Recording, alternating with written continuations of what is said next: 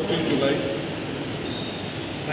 তারা বাংলাদেশ রেলের অব্যবস্থাপনা পিছিয়ে পরিবর্তন যে ছয় দফা দাবি বাস্তবায়নের যে আন্দোলন ছিল সেটা থামাতে তারা কিন্তু আমাকে আশ্বাস দিয়েছিলেন যে আমরা দাবি মেনে নিচ্ছি আমরা বাস্তবায়ন করব এবং সেই আমরা মেনে নিয়েছি এই কারণে যে তারা আমাকে টাইম ফ্রেম দিয়েছিল।